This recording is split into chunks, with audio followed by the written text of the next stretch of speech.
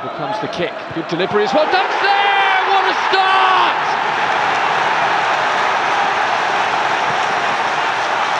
The skipper gets the party started.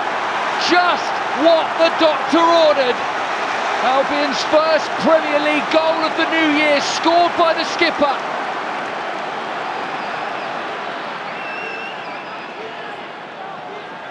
Lamptey to the byline, he's dug out a cross, useful one as well, the head is there!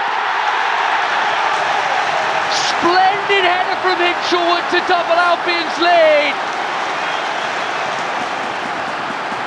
Another goal to add to Jack Hinshelwood's growing reputation. What a player they've unearthed. They're straight back on the attack here. Gross is in for three. Buonanotte, three! The roof's going to come off. The Amex erupts.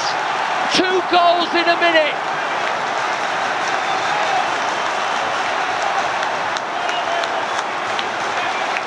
Albion putting Crystal Palace to the sword.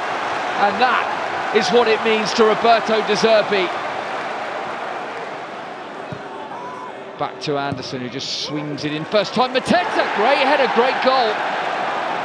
Crystal Palace have a lifeline. For Pedro, instant control. Welbeck charges forward. Pedro drives in field. Oh, what a flick! What a goal this could be! What a goal it is!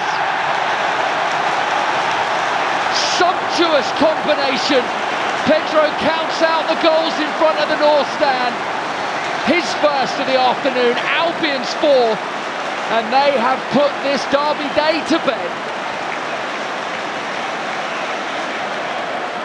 And he adds gloss to the scoreline reminding himself of the score in the process. It's all done.